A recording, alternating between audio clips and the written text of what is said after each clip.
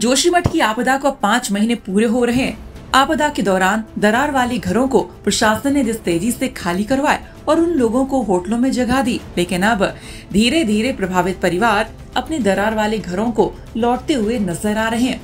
जोशीमठ में प्रकाश भोटियाल का परिवार तीन महीने होटल में रहने के बाद अप्रैल में इनसे होटल की चाबी वापस ले ली गई थी। प्रकाश भोटियाल का हाथ भी पूरी तरह से टूट चुका है और उनका इलाज चल रहा है।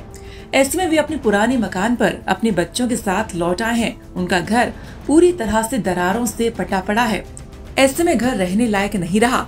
उनका कहना है कि कल रात को भी उनके घर पर दरार आई। जब उनसे होटल खाली करवाया गया तो उनके द्वारा प्रशासन से कहा गया था कि उनसे होटल की चाबी मांगी जा रही है। तो ऐसे में प्रशासन ने कहा कि अगर उनका घर रहने लायक है तो वहाँ पर रह सकते हैं। और आज भी वह अपने घर पर रह रहे हैं। लेकिन घर की स्थिति क्या है, आप इन तस्वीरों में देख सकते हैं।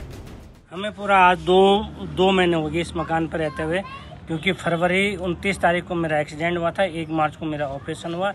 और ऑपरेशन के चक्कर में मैं दस बारह दिन हॉस्पिटल में रहा, और वहाँ से लगातार होटल से मुझे फ़ोन आ रहे थे कि तुम होटल में नहीं हो, तुम हमें चाबी वापस दे दो। जब मैंने कहा, सर, हम यहाँ हॉस्पिटल में, मेरा एक्सीडेंट हुआ है और मेरे बच्चे भी मेरे साथ ही। हैं तो जैसे मैं हॉस्पिटल से घर में आया तो हमारे जो नोडल अधिकारी थे, उन्होंने भी मुझे फ़ोन पे कहा। स्वयं उन्होंने मुझे मिल करके कहा कि, भाई, आप चाबी दे दो, होटल की जो बुकिंग हो रही है और उनके ऑनलाइन बुकिंग चल रही है, इसलिए आप कमरा खाली कर दो करके। तो इस चक्कर में मैंने उन्हें चाबी पकड़ा के मैं अपने कमरे पे आई। है क्या अभी प्रशासन को आपने सूचना दी? आपको किराया मिल रहा है या क्या है? किराए तो कुछ भी नहीं मिल रहा लेकिन मैंने कमरे में आने से पहले मैडम एस साहब को मैंने इसकी सूचना दे दी थी अपने वार्ड मेंबर को इसकी सूचना दे दी थी कि भाई हमने होटल में चाबी दे दिया हम अपने घर में रह रहे हैं इसका कुछ भी अगर नुकसान होता तो आप लोग जवाबदार रहेंगे इस चीज़ क्या कहा उन्होंने? उन्होंने कहा अगर रहने लायक है ठीक है उस पर आपको लगता रह लो रहने के लिए तो रह लो उन्होंने ये कहा मुझे।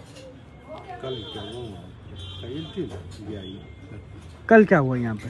कल रात हम सभी अंदर बैठे हुए थे एक धड़ाम से आवाज़ हुई और मैंने सोचा ये हमारा मकान गिर गया है या रेलिंग टूट गई है?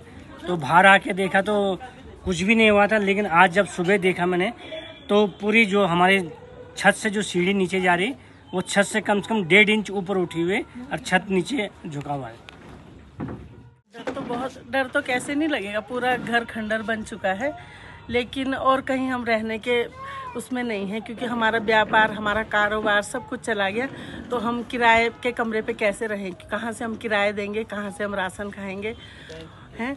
और दुकानदारी, हमारी सारे दुकानदार चले गए, और कमरों में हम पीजी रहते थे, हमारे वो लोग चले गए। और प्रशासन ने पहले तो रिक्वेस्ट करके हमें होटल में शिफ्ट किया।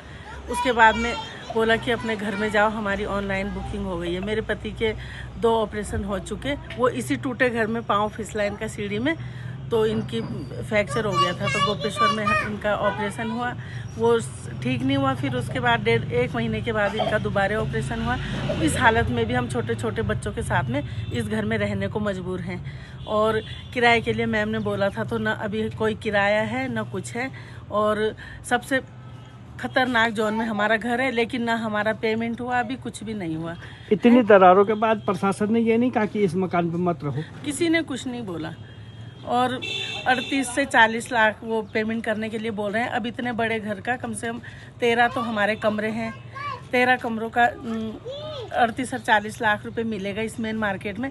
तो या तो प्रशासन हमें ऐसी ही जगह इतना ही बड़ा हमें घर बना के दे दे ताकि हमारा अच्छे से गुजर बसर हो सके और हमारा घर का खर्च चल सके।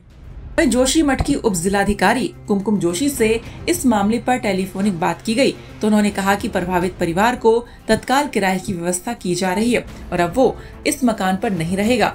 सुरक्षित स्थान पर प्रभावित परिवार को भेजा जाएगा। जोशीमठ से कमल नैन की रिपोर्ट।